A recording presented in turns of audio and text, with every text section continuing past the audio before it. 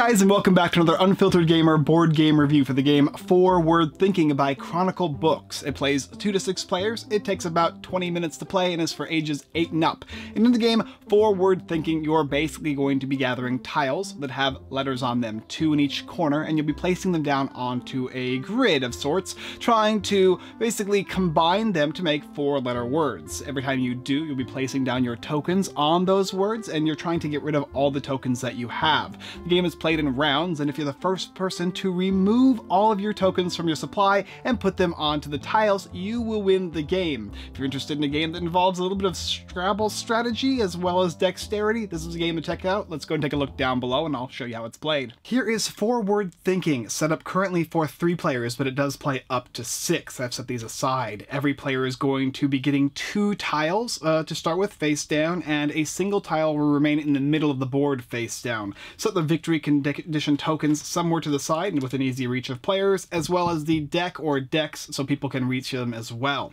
Everybody's going to get these tokens here, and your objective is to basically place these down into the middle area whenever you place four-letter words down.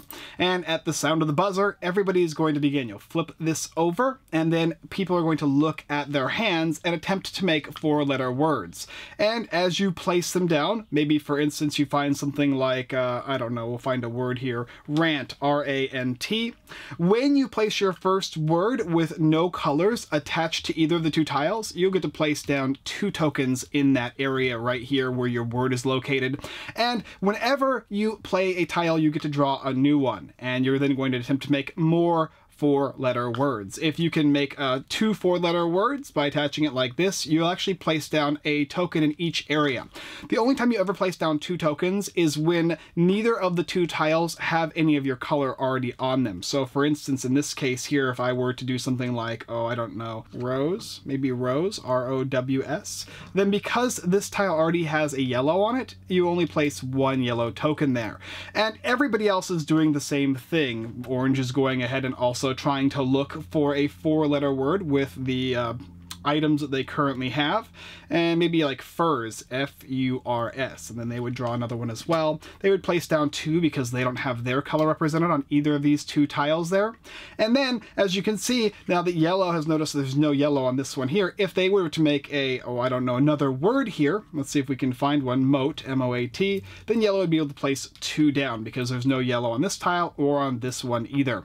And the game will keep going up to the point where somebody gets rid of all of the tokens that they have have. Once they're all located on this board here, then you're going to check to make sure all of the words are legitimate or legal. You can use Scrabble rules or whatever type of rules you would like, and the person who does that will get a victory condition token.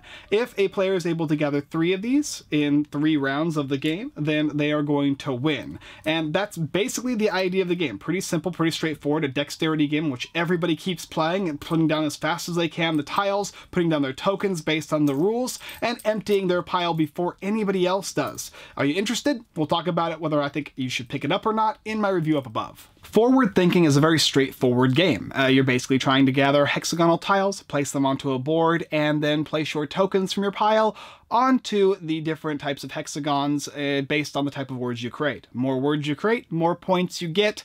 And of course, if you can create words on tiles that do not share a color token that you've previously put, you'll gain two tokens as opposed to one. And the first person who does so wins. Another really cool thing about the game too is if you have tiles that you do not like, up to two times in a round, you can discard one of your tiles and then draw a new one, giving you more variety, but eventually you're gonna have to make words. And it's almost impossible not to be able to place a word down. You just have to find one that is currently available based on your options, but there are certain cases in which that will be the fact and you'll have to wait for somebody else to place. More players equals more insanity because more things are going on. You'll have to limit your choices as to where you want to place and what you want to work with because the board gets substantially bigger the more players you want to play with.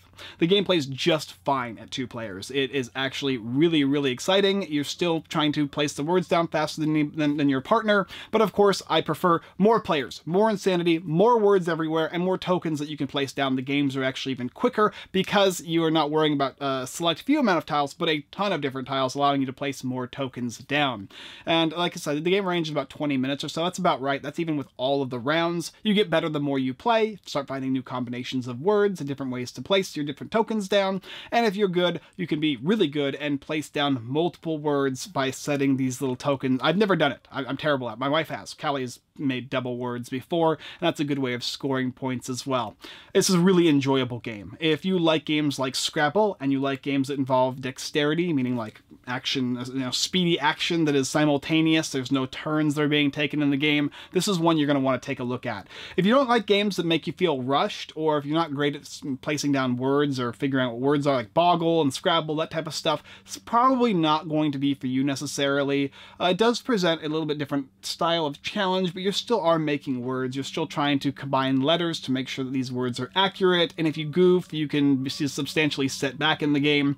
Uh, it might be a little tense or frustrating for people as they're trying to place words down, then somebody else places a tile in the space that they wanted to place, or next to a space they wanted to place, because when you place a tile, you need to make sure that everything that is connected makes a four-letter word, and that's just part of the game. The game is going to be a little stressful, a little uh, exuberant. You're going to be trying to accelerate your play as fast as possible and make sure that you make correct words. And if you do everything correctly, it's going to feel really good as you're placing it down. It also really, really looks nice. The entire board looks really nice at the end of the game, saying all the words that everybody has placed out. This is a game that you're going to jump back in and play again and again and again if you really like these type of games. If you're a wordsmith and you like dexterity games like Flick 'em Up and stuff like that, this one jumps in and it does a really good job of it. It reminds me of a couple other tile placement games, but I think this one does uh, the best because of how quick it is uh, in, in play. And because, you know, it's a game that even if you're not sure if somebody's going to enjoy it or not, it's such a quick and simple game that, you know, you can just simply go on to a new game if you're not really into it. But for us, for my family,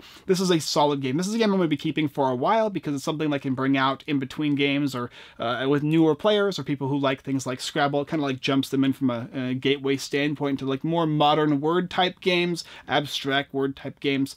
Uh, I, I highly suggest this one. This is a lot of fun, but it's going to be for a niche amount of people. People that like dexterity, and people who like wordsmithing games are going to enjoy this one. And if not, you're not going to really enjoy this game. It's pretty straight. You know, you're going to know if you like this game or not uh, after playing one round. It doesn't change in the type of player complexity uh, as you continue throughout the game. But regardless, if you're interested in taking a look at the game forward thinking, which was a nice, cute little pun, uh, then go ahead and take a look down below. Link in the description where you pick up the game. Currently available to you.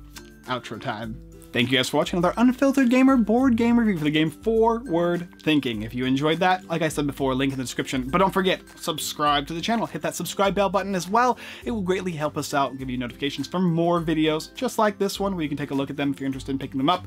And of course, don't forget to check out my game, uh, my wife's game, Moonshell, a mermaid game. It's coming out March 2nd on Kickstarter. It's a game in which involves puzzliness, uh, Tetris slash uh, Candy Crush kind of mechanics, Tiny Town slash Sagrada for you board board game players out there, you'll be pulling seashells from the murky depths and bringing them onto the rocks, and then from there taking them and placing them onto your player board to make beautiful shell combinations utilizing mermaids and your mermeeple's powers and abilities, as well as unique different types of tile sets that are not just shells, but sometimes you're going to see sea urchins and other unique ones as well. It's a really beautiful looking game, and I hope you guys are interested in taking a look. And of course, thank you guys from my Patreon and Discord. We do a bunch of great fun stuff. We have the painting contest out there. There's swag for Moonshell. If you didn't get one, go ahead and message me on there. I'll make sure to send one out for you, stickers and pins and all that good stuff.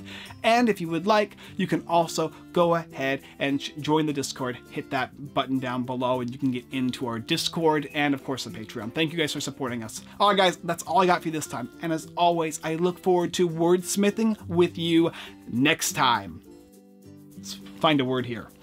Uh, look forward to colting with you next time. Colt. I made a word. Yeah.